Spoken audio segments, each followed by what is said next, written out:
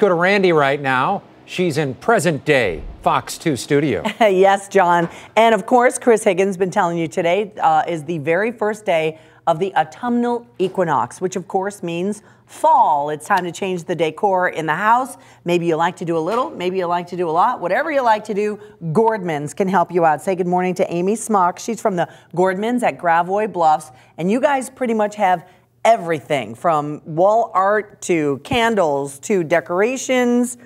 You got it all covered, don't you? We have it all. What do you find that you guys sell the most of when it comes to this type of the, this kind of the year? Because obviously it's got to go from fall and transition maybe into Thanksgiving and even Halloween, right? Right.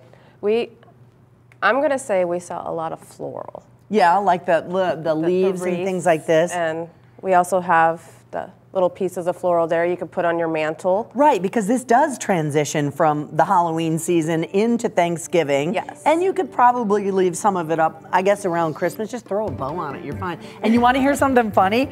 I looked at one of the items, I go, wow, is this already on sale? And you said what?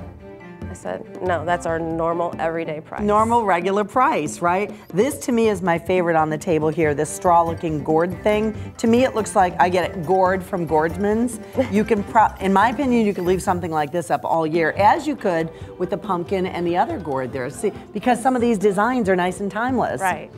And now where you have a bunch of different candles. I've been in your candle section. Yankee candle, people go crazy over those. Yeah, we have some really good smelling scents this year. And the wall art, do people really change it all out or they, do they do mostly their patio or their family rooms or whole house? What are you seeing? Um, I would probably say they do their whole house with it.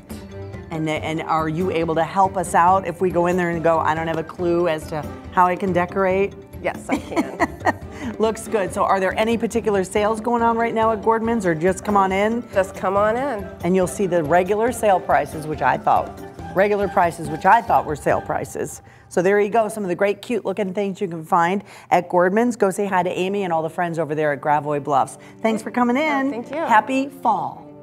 we'll be back.